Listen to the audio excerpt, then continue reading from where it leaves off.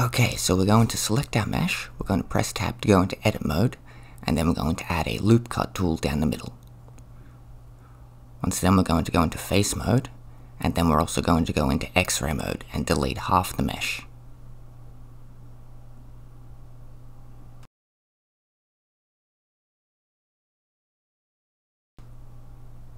Once half the mesh is deleted, we're going to go into the modifier properties on the right hand side add a mirror modifier.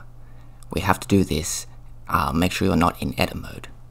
So tab out of edit mode and once you're out of edit mode you can add the mirror modifier.